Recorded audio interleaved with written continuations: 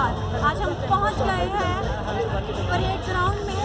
यहाँ पर international kite and sweet festival है। Fourth international kite and sweet festival हर साल यहाँ पर ये यह बहुत धूमधाम से मनाया जाता है। संक्रांति के अवसर पर। इस काइट फेस्टिवल और स्वीट फेस्टिवल की विशेषता है इस साल कि ये इको फ्रेंडली होगा।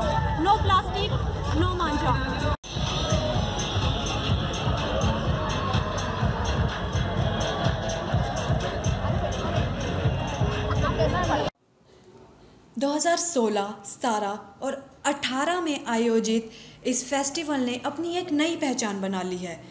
2018 में लगभग 8 लाख दर्शकों ने इसका आनंद लिया। अब बात करें 2019 की। आखिर ये 2019 में क्यों इतना विशेष है? आप इस फेस्टिवल की तमाम तैयारियों को देखकर अपने आप अंदाज़ा लगा सकते हैं।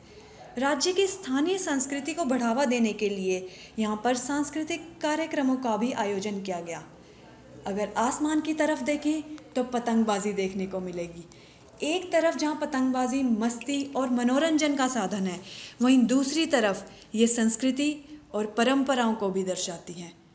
इसी के साथ मैं आपसे विदा लेती हूँ और मिलती हूँ अगले वीडियो में।